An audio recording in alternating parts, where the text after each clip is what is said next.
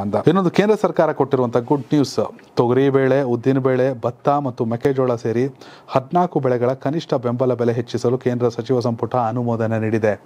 ಹೌದು ವೀಕ್ಷಕರೇ, ಅತಿ ದೊಡ್ಡ ಕೊರತೆ ಇಡೀ ದೇಶವನ್ನು ಕಾಡ್ತಾ ಇದ್ದಿದ್ದು. ಒಂದು ಅಡುಗೆ ಎಣ್ಣೆ ತಗೊಬಂದರೆ ಅದಕ್ಕೊಂದು ಬೆಲೆ ನಿಗದಿಯಾಗಿರುತ್ತೆ. ಒಂದು ಅಕ್ಕಿ ತಗೊಬಂದರೆ ಅದು ಇದು ಅದಕ್ಕೊಂದು ಬೆಲೆ ನಿಗದಿಯಾಗಿರುತ್ತೆ.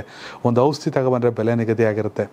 ಆದರೆ ಕಷ್ಟಪಟ್ಟು ದೇಶದ ಬೆನ್ನೆಲುಬು ರೈತ ದುಡಿಯುವಂಥ ಬೆಳೆಗಳಿಗೆ ನಿಗದಿ ಬೆಲೆ ಇರಲ್ಲ. ಏನು ಮಾಡ್ಬೇಕಂತ ಗೊತ್ತಾಗಲ್ಲ. ಯಾವುದ್ಯಾವುದಕ್ಕೂ ಬೆಲೆ ನಿಗದಿ ಮಾಡ್ತೀರಾ?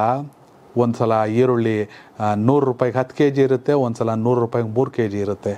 ಟೊಮೆಟೊನ ರೋಡ್ ರೋಡಲ್ಲಿ ಚೆಲ್ಲಿ ಹೋಗ್ತಾರೆ ಬೇಳೆಕಾಳುಗಳು ಅವು ಇವು ನಿಗದಿತ ಬೆಲೆ ಗೊತ್ತಾಗಲ್ಲ. ಹೀಗಾಗಿ ಬೆಂಬಲ ಬೆಲೆ ಹೆಚ್ಚಿಸಲು ಕೇಂದ್ರ ಸಚಿವ ಸಂಪುಟ ಅನುಮೋದನೆ ನೀಡಿದೆ. ಎರಡು ಸಾವಿರದ ಇಪ್ಪತ್ತ್ಮೂರು ಇಪ್ಪತ್ನಾಲ್ಕರ ಮಾರುಕಟ್ಟೆ ಋತುವಿಗಾಗಿ ಬೇಸಿಗೆ ಕಾಲದ ಬೆಳೆಗಳಿಗೆ ಕನಿಷ್ಠ ಬೆಂಬಲ ಬೆಲೆ ಹೆಚ್ಚಳಕ್ಕೆ ಕೇಂದ್ರ ಸಚಿವ ಸಂಪುಟ ಅಸ್ತು ಎಂದಿದೆ. ಈ ಸಂಬಂಧ ಮಾತನಾಡಿರುವಂತಹ ಕೇಂದ್ರ ಸಚಿವ ಪಿಯೂಷ್ ಗೋಯಲ್ ಬೆಳೆಗಾರರಿಗೆ ಅವರ ಉತ್ಪನ್ನಗಳಿಗೆ ಲಾಭದಾಯಕ ಬೆಲೆಯನ್ನು ಖಚಿತಪಡಿಸಿಕೊಳ್ಳಲು ಮತ್ತು ಬೆಳೆ ವೈವಿಧ್ಯೀಕರಣವನ್ನು ಉತ್ತೇಜಿಸಲು ಈ ಕ್ರಮ ಕೈಗೊಳ್ಳಲಾಗಿದೆ ಎಂದಿದ್ದಾರೆ. ದೇಶದ ಆಹಾರ ಭದ್ರತೆಯನ್ನು ಬಲಪಡಿಸುವುದರ ಜೊತೆಗೆ ಬೆಳೆ ಹಾನಿಯನ್ನು ಕಡಿಮೆ ಮಾಡಲು ಮತ್ತು ರೈತರ ಸಂಕಷ್ಟದ ಮಾರಾಟವನ್ನು ತಡೆಯಲು ಸಹಕಾರಿ ಕ್ಷೇತ್ರದಲ್ಲಿ ವಿಶ್ವದ ಅತಿ ದೊಡ್ಡ ಧಾನ್ಯ ಸಂಗ್ರಹ ಸಾಮರ್ಥ್ಯವನ್ನು ರಚಿಸಲು ಕೇಂದ್ರ ಸಚಿವ ಸಂಪುಟ ಕಳೆದ ಒಂದು ಕಳೆದ ವಾರ ರೂಪಾಯಿ ಒಂದು ಲಕ್ಷ ಕೋಟಿ, ಒಂದು ಲಕ್ಷ ಕೋಟಿಯ ಕಾರ್ಯಕ್ರಮಕ್ಕೆ. ಹೀಗಾಗಿ ಒಂದು ಬೆಂಬಲ ಬೆಲೆ ಅನ್ನೋದು ಸಿಗಬೇಕು. ಹದಿನಾಲ್ಕು ಬೆಳೆಗಳಿಗೆ ಅಂತ ಹೇಳಿದ್ದಾರೆ. ನೋಡ್ಬೇಕು ಅದೆಷ್ಟು ಮಟ್ಟಿಗೆ ಜಾರಿ ಆಗುತ್ತೆ ಅಂತ. ಇದೀಗ